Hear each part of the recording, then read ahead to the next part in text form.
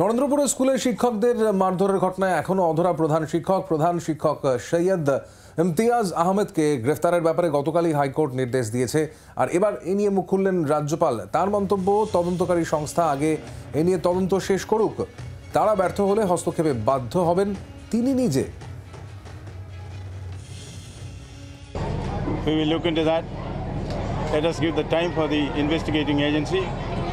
To take action.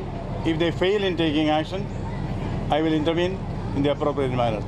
Let us not act in haste and repentant nature. এর পাশাপাশি শোভনদেব চট্টোপাধ্যায় প্রসঙ্গে কি বলেছেন আমরা একবার শুনব। হিংসা এগুলো ওয়ান্টেড না। কালকে ছাত্ররা গিয়ে ছাত্ররা গিয়ে কিনে বহিরাগতরা গিয়ে শিক্ষককে মেরেছে। This is not wanted actually কেন মারবে? কেন? কোন অধিকারে যাবে তারা মারতে? শিক্ষকের গায়ে হাত দেবে কোন অধিকারে? বিচার করার জন্য সরকার আছে, পুলিশ আছে, সব কিছু আছে। কোর্ট আছে সব থেকে বড় কথা।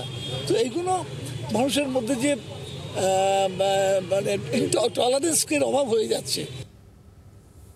এবারে খবরের দিকে আমরা নজর রাখব, বিজ্ঞাপনে সরকারি মেডিকেল কলেজের ভর্তির দাবি আর এই নিয়ে সংস্থার বিরুদ্ধে পুলিশের নালিশ স্বাস্থ্য দপ্তরে। আপনাদের আরও একবার জানাব, বিজ্ঞাপনে সরকারি মেডিকেল কলেজে ভর্তির দাবি, সংস্থার বিরুদ্ধে পুলিশের নালিশ স্বাস্থ্য দপ্তরে।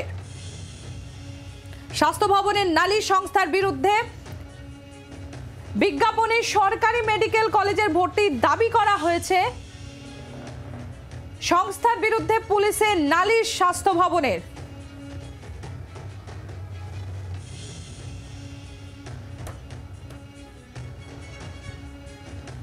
মেডিকেল কলেজে ভর্তির দাবি, সরকারি মেডিকেল কলেজের ভর্তির দাবি, সেই দিয়েই বিজ্ঞাপন এবং সংস্থার বিরুদ্ধে পুলিশের নালিশ স্বাস্থ্য ভবনে। ঘটনা সম্পর্কে আরও জানব। মৈত্রী ভট্টাচার্য আমাদের সঙ্গে রয়েছেন, আমাদের প্রতিনিধি। মৈত্রী এই সংস্থার ব্যাপারে কি জানতে পারা যাচ্ছে? সরকারি মেডিকেল কলেজে তারা ভর্তি করিয়ে দিতে পারবে এরকম দাবি করেছে না কি বলা হয়েছে সেখানে? যার জন্য পুলিশের কাছে স্বাস্থ্য ভবন যেতে বাধ্য হচ্ছে। দেখো এই আহ, বিজ্ঞাপনে আহ, যেখানে উল্লেখ করা হয়েছিল একটি সংস্থা একটি বেসরকারি সংস্থা তারা দাবি করেছিলেন যে তারা সরকারি মেডিকেল কলেজে তারা ভর্তি করিয়ে দিতে পারবেন এবং সেক্ষেত্রে কিছু টাকার কথা উল্লেখ করা ছিল। সাধারণভাবে লিঙ্ক ক্লিয়ার করার পরে সরকারি মেডিকেল কলেজে ভর্তির যে সম্পূর্ণ নিয়মটা হয় সেটা হচ্ছে নিজের নাম্বারের ভিত্তিতে যে নিজের যে নাম্বার প্রাপ্ত নাম্বার এবং সেই অনুযায়ী যে কাউন্সিলিং হয় সেই কাউন্সিলিং অনুযায়ী ভর্তি হওয়ার কথা। মানে সেখানে কি করে একটি বেসরকারি সংস্থা এরকম ভাবে বিজ্ঞাপন দিতে পারে সেই নিয়ে সরব হচ্ছিলেন চিকিৎসকরাও এবং সেটি নজরে আসে স্বাস্থ্য দপ্তরেরও।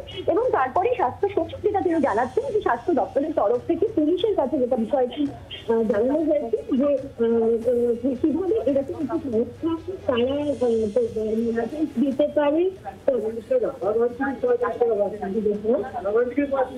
যেভাবে সেই ধন্যবাদ